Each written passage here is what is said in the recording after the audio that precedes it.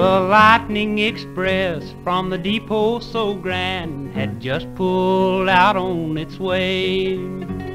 All of the passengers who were on board seemed to be happy and gay, except a young lad in the seat by himself, reading a letter he had.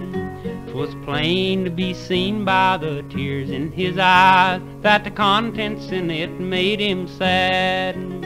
The stern old conductor who passed through the car, taking tickets from everyone there, finally reached the little boy's side and gruffly demanded his fare. I have no ticket, the boy replied, but I'll pay you back someday.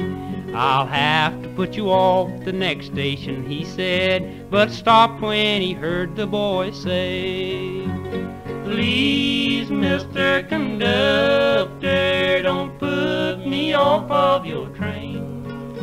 For the best friend I have in this whole wide world is waiting for me in vain. Expected to die any moment and may not live through the day. I want to bid mother goodbye, sir, before God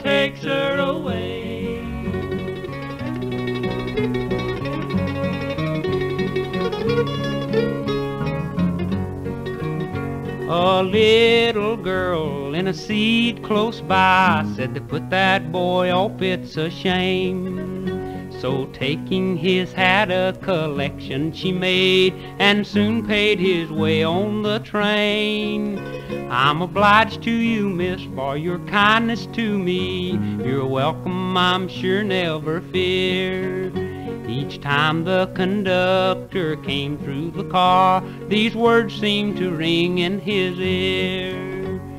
Please, Mr. Conductor, don't put me off of your train. For the best friend I have in this whole wide world is waiting for me in vain. Expected to die any moment and may not live through the day. I want to bid mother goodbye, sir, before God takes her away.